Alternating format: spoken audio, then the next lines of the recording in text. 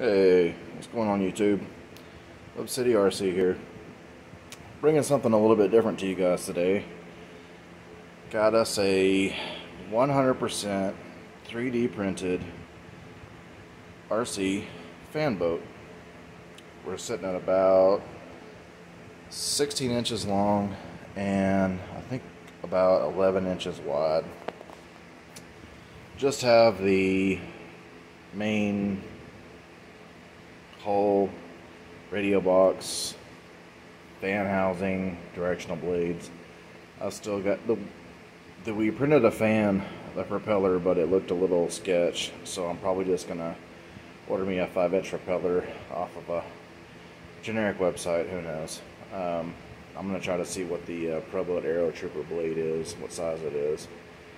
Anyway, um, I don't know if I'm gonna I think I'm kind of going to keep the colors the way it is. Um, my, my, old man just kind of threw in some different colored filament. And I think it looks kind of cool. It's random and the colors, for whatever reason, just look good together.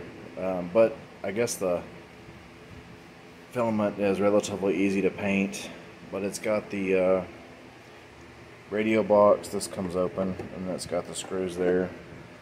And then these screws here that hold the radio box on.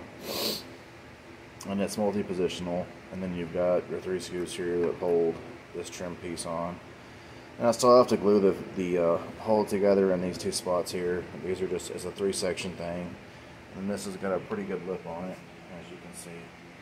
I'm still trying to sort out how I want to do the bottom. I'm probably going to use E6000 to get it all together. But um, the bottom is a little rough. Um, but I think I'm going to go with my uh, dad's suggestion and do the old um, Bondo and and then paint it and clear coat it and sand it and then paint it again. Make it slick and then I can actually like put some turtle wax on it and wax it. But you've got the linkages here for the um, fans and then I'll just put a a uh, T on a micro servo and that's what this little box is here. It's for a micro servo and then you got your things here for your linkages and then you can once you get your T on your servo you can move it oppositionally from the push pull so and I think that's just a matter of getting in bending some piano wire. And this is all just stuck together. I still have to get all the hardware for assembly. You can see all the holes you got a motor mount there, and then you got a couple different motor mount options, and then some uh, other T's and ties depending on how your motor is. Looks like you've got several different, here you've got different motor mount options.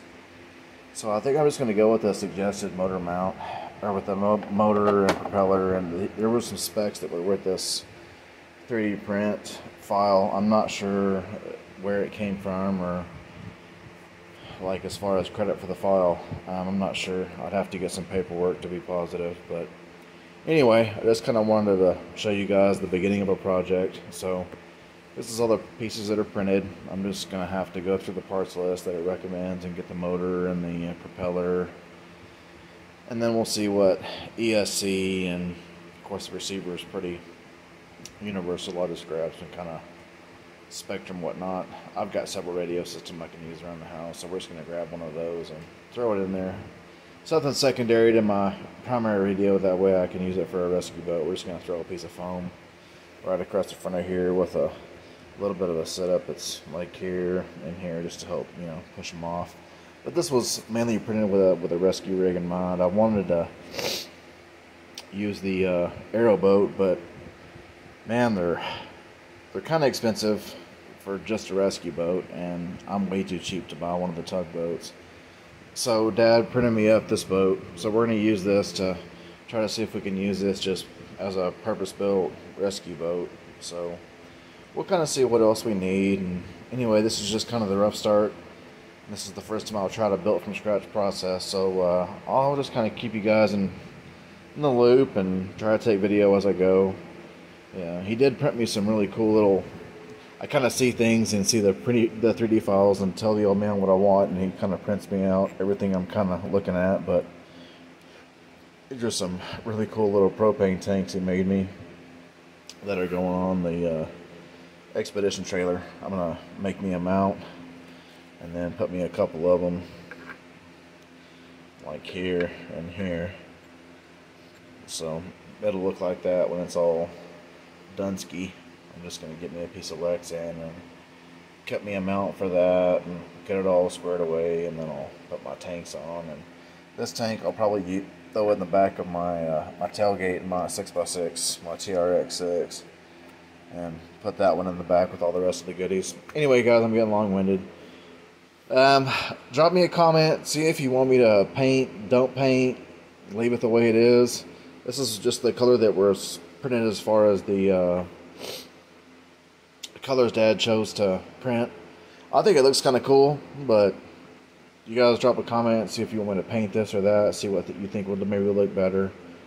I think it looks kind of cool, random, something different. You know it's custom because nobody else has anything like it. I kind of like it. I'm kind of, I'm on the fence on the pink. I don't know. I'm thinking about taking the all the pink stuff and maybe that gray fin and painting it all. I, I can't decide. I'm kind of thinking about maybe going with a maybe a fluorescent pink or maybe like a day glow yellow. Another drop a comment thing if you guys think you want me to maybe paint this color or that.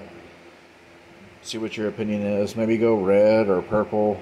See if I can get close to matching that. That might be kind of hard to do but anyway we will uh, catch you guys later uh, this particular edition of the uh, episode one of Project 3D Print Swamp Boat Rescue Vehicle, whatever you want to call it. When I get some more parts and get some more progress, I will drop another video and come back at you guys. And just a side note, went out to the lake today and hit the old Sonic Wake in the Zonda. Got 73 out of the Zonda and 59 out of the old Sonic Wake. I know that if I did some tuning on both, I could get a little faster. My Zonda was running really, really wet, so I know I could do some adjustments there and get a, a little more hull out of the water and get some, get those speeds up. My Sonic Wake is, I think, a propeller, so I've got it pretty well trimmed out the way I like it with the battery weight and the uh, trim tabs. It turns great, so I know I got my fins in the right position. I'm creating very little drag with those. So I'm just going to maybe get with old uh, Chris over at Dasboda and see if he can get me a, a supersonic propeller. I had a Sonic 2 and hit a log and jacked it up. $50 down the drain. But, hey, is what it is. Anyway, guys, we'll catch you later. Hub City RC's getting out of here. Stay blessed, stay safe, and you guys take care. We'll see you soon.